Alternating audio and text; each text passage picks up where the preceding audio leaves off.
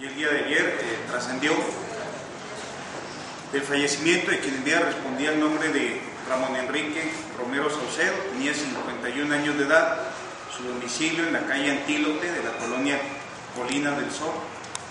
Falleció a consecuencia de herida de proyectil de arma de fuego.